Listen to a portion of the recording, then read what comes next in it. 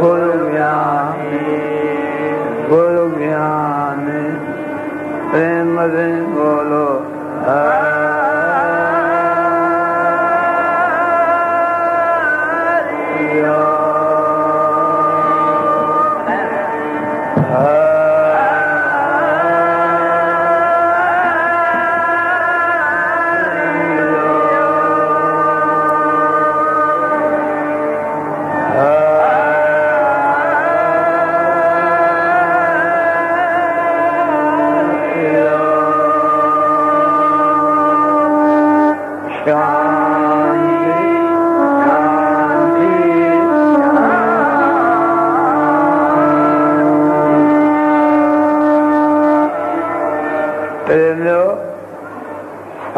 मिलकर माई, भाई बाल बुढ़े, जो जो भी आए हैं, सारे मिलकर जितना भी प्रेम का उमंग है, वो ज़ोर लगा के गुरु महाराज एंड भगवान एंड भक्तों की जय कर। बोल कृष्ण चंद्र राजा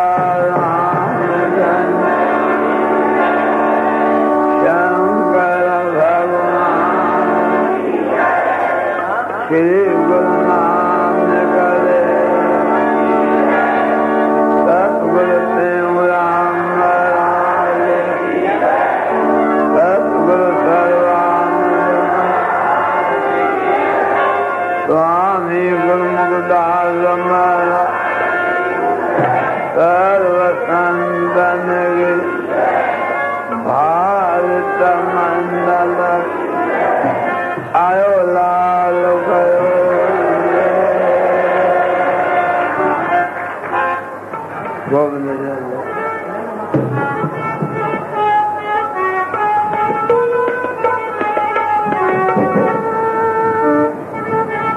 जय बोलो, हरे राम। ये जो संत लोग पहले राम नाम की धुनी लगाते हैं, इसी का मतलब क्या है? ये एक किस्म की टिकट, ये सत्संग रूपी जो गाड़ी है ये वहीं उठने जाने वाली है। अगर उसी को कोई चलना चाहे तो टिकट तो होनी चाहिए। टिकट के बगैर चलना मुश्किल होता है। अगर कोई चलता है, आप समझ तो कहा उसको सपना पड़ता है। ये टिकट कौन है, ये धुनी लगा। ये धुनी लगाएँगे तो सत्संग रूपी गाड़ी आपको सीधा परमात्मा के पास ले जाएँगे। वो भगवान से मिल करके बहुत आनंद लेंगे तो प्रेम से बोलो।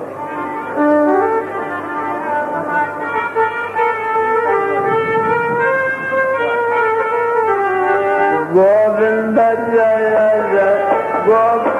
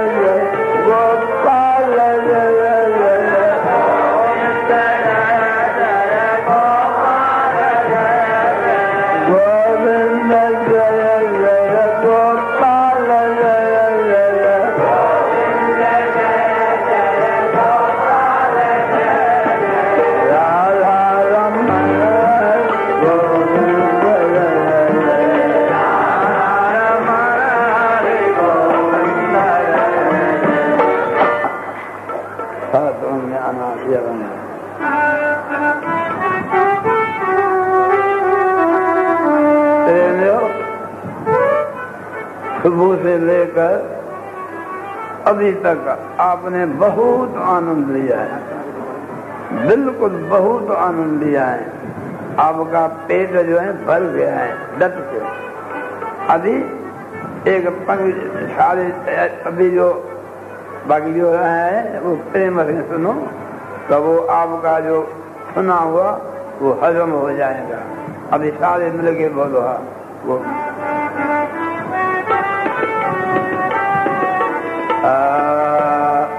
गोविंद के गुण गाना गाना। गोविंद के गुण गाना गाना। जितने भी माई हैं भाई हैं दूर बैठे हैं नजदीक हैं खड़े हैं बैठे हैं सारे मिल के बोलो। आए हो कुछ न कुछ नाम स्मरण करो गोविंद के गुण गाना गाना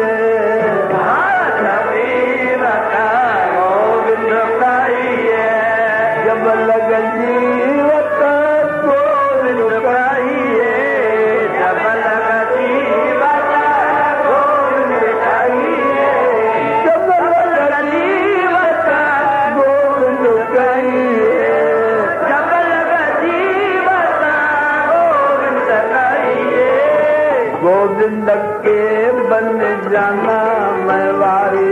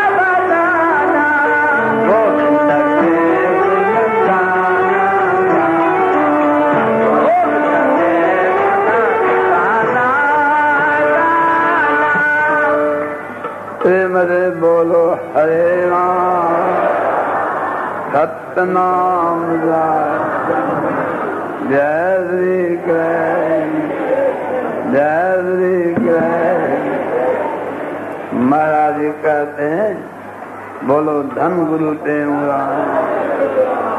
धन गुरु टेमुरा धन गुरु सर्वानंद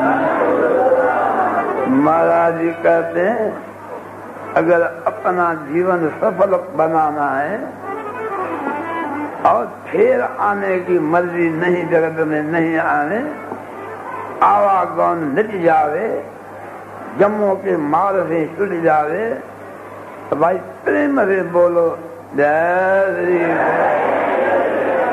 जय श्री ये कलयुग है, ज्ञान भी अच्छा है, ध्यान भी अच्छा है, विज्ञान भी अच्छा है, सब साधन अच्छे अरे अगर संतों की राह मानो कली काल में केवल नाम आधार प्रेम से बोलो जय सिया जय श्री कृष्ण। जय सिया राम। बड़ाई की वजह से अपना जन्म नहीं गवा पर मैं मेरे को बड़ा कहे अरे नहीं छोटा कहे तो कहे पर आजकल के जमाने में जीव के लिए जितना कल्याणकारी, फ़ायदेमंद भगवत का नाम है, ऐसा कोई भी साधन नहीं। ये मैं निश्चय से कहता हूँ, वो खुशा मंदिर नहीं। आप प्रेम से बोलो, जय एक बात है, एक कोई लड़का था सेठ का, उसी की सगाई। आने वाली थी बहुत लोग पूछते थे भाई इसी के कोई संबंध हुआ है। तो बहुत पूछते थे उसी का पिता अकस्मात किसी काम से बाहर गया। अपने चेचे को कह गया, भाई, तुम्हारी जो संबंध है मायकी बोलते हैं वो लोग पूछ रहे हैं, कोई आपसे पूछे, मैं तेरा पिता शाहूकार है, कितना हाथ है कितने दुकान है, कितने कारखाने, कितने कार्य है, कितने मकान है। ज़्यादा कहना, कम नहीं कहना तो आपकी जो सगाई अच्छी होगी। से बोलो उसका पिता बाहर गए। वो जो जो सगाई करने वाला वो आदमी आए तो लड़के से पूछ रहे हैं, तेरा पिता कहाँ गया है? वो बाहर किसी काम के काम गया है। भाई सुनो, तुम्हारे पिता को दुकान कितने भाई बहुत दुकान है। एक हरदा दुकान है, अमृतसर में दुकान है, दिल्ली में दुकान है, कलकत्ते में दुकान है, काशी में दुकान है, प्रयाग में दुकान है, बहुत दुकान है। अच्छा इतने दुकान है? हाँ। मकान कितने मकान तो बहुत है। एक लंदन में बन रहा है, अमेरिका में दूसरा नई खरीद करने गए अभी ये बम्बई में अहमदाबाद में बहुत मकान है। अच्छा बहुत कालियाँ कितनी है कालियाँ कालियाँ कितने कालियाँ भी बहुत हैं, जितने मकान है। दो दो काली एक मकान पर रहते हैं। अच्छा बोलो, हरे राम। जय श्री कृष्ण, जय श्री कृष्ण। भाई दूसरी बात सुनो, तुम्हारे जो पिता हैं? वो कहाँ गए हैं? तो कहे, एक पिता गए हरिद्वार क्या बोला? एक गए कलकत्ते, एक गए प्रयाग में, एक गए वृंदावन एक गए बम्बई खरीद करने के लिए। अरे पिता भी बहुत है क्या? पिता भी बहुत है। तो लोग हंस पर ये बेकुल है। मकान बहुत होते हैं कारियाँ बहुत होती है, दुकान बहुत होते हैं, बस पिता बहुत ये पागल है। ये बड़ाई की वजह से कहते चले कहते चले। और उसी बड़ाई की वजह से असलत भूल जाती है, मूड भूल जाता है। वो इधर उधर भटकता है। आप असल को नहीं बुलाओ। असल बोलो, जय श्री ओम नमो भगवते वासुदेवाय।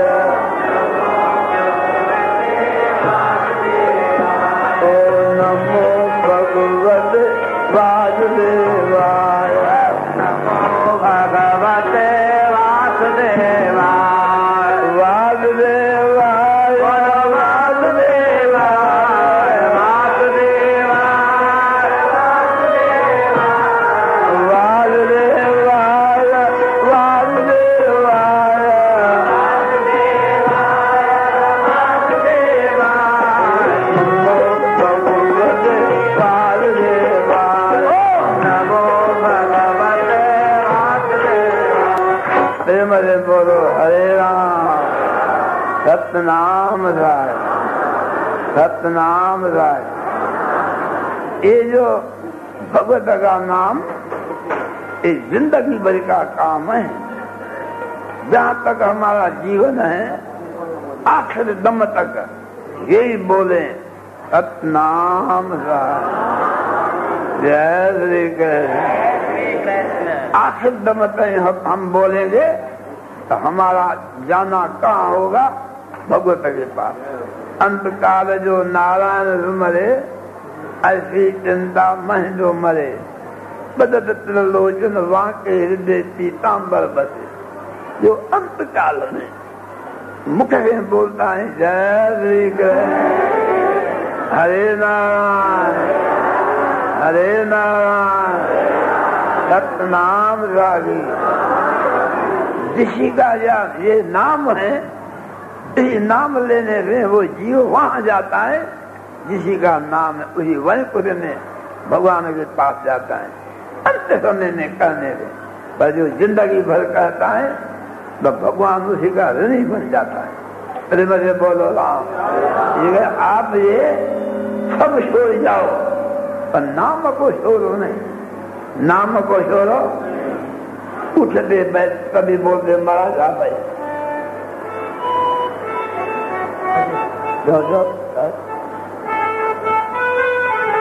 खावट पी वट गो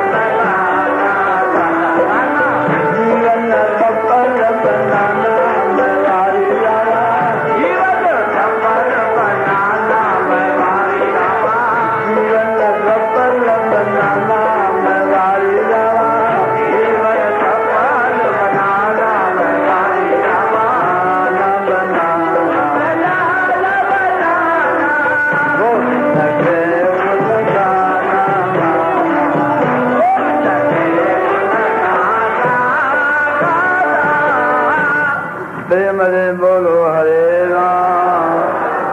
जय श्री कृष्ण। ये जो संत लोग, फिर फिर अलग पलक में आपको नाम जपाते हैं, क्यों?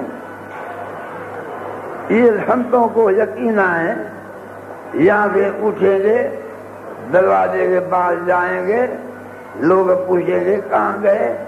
भाई संतों के वचन सुनने गए। क्या कहा? ये पता नहीं। ये?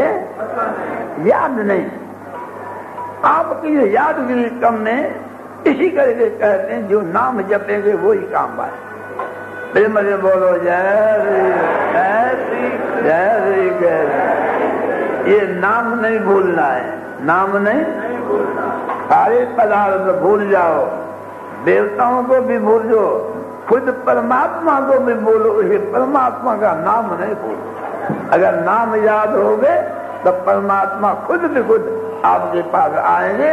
परमात्मा आएँगे तो देवताओं भी आएँगे। ये देवताओं आएँगे तो रिधि सिद्धि सब तुम्हारे पास आ जाए तब प्रेम में बोलो, जय श्री जय श्री कृष्ण। एक द्वारका के जमाने की बात है पांडवों का जो बड़ा भाई था, धर्मपुत्र, जिसका नाम था युधिष्ठिर वो अपने गद्दी पर बैठा था।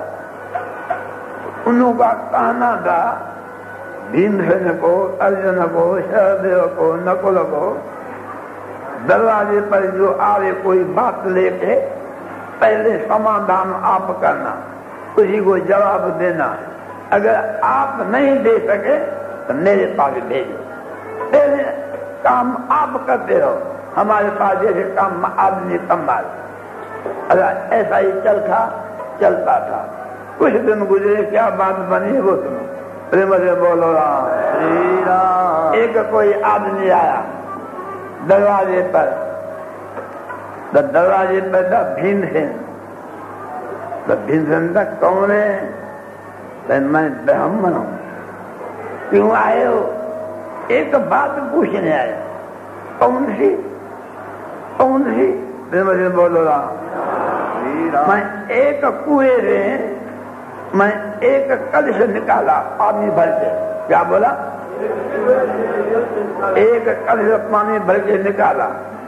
निकाल करके जो दस कलश थे, उसी ने पानी डाला। एक कलश से दस कलश भर गए।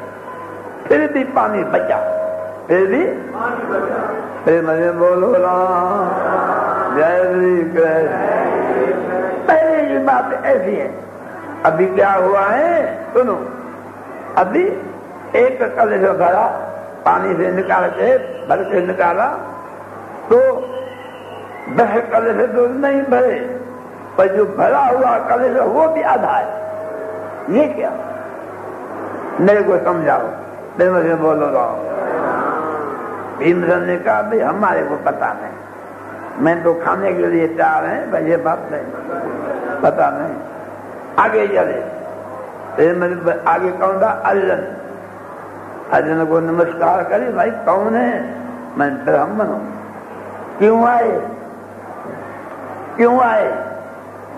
मैं एक मैं अचानक देखा। उसी का मतलब पूछने आए उसी का मतलब क्या है? क्या सुनो, बता सुनो। एक दो कुए हैं उसमें पानी है। तीन कुए हैं, क्या बोले? उन्होंने पानी है। जो पीछे वाला कुआ है उसमें पानी है। उसमें पानी?